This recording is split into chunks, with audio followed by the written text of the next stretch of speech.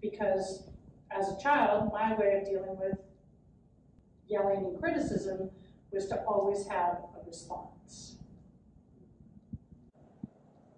As I reflect back on those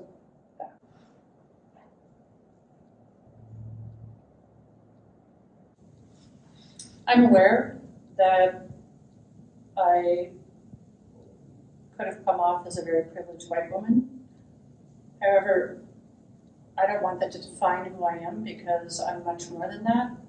I'm a wife, I'm a mother, I'm a teacher.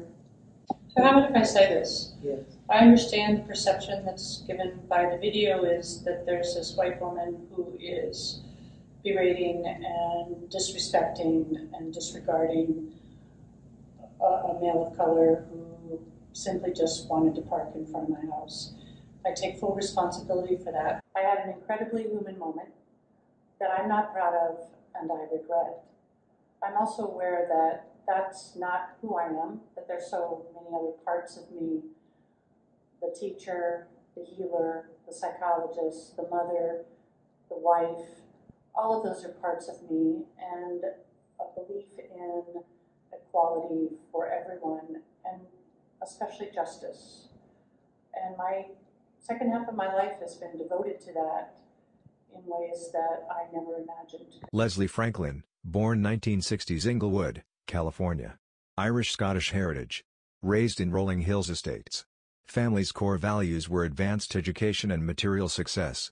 Father was ambitious but lacked the dollar to pursue dreams.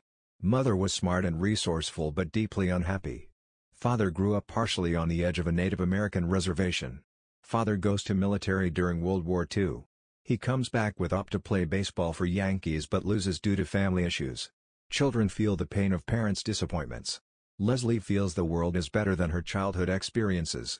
She sought to escape mom's unhappiness through academia. In school, music and athletics. Aunt Amp, uncle are hearing impaired. They have two children that come to live in her home. Lesleigh has first experience with discrimination.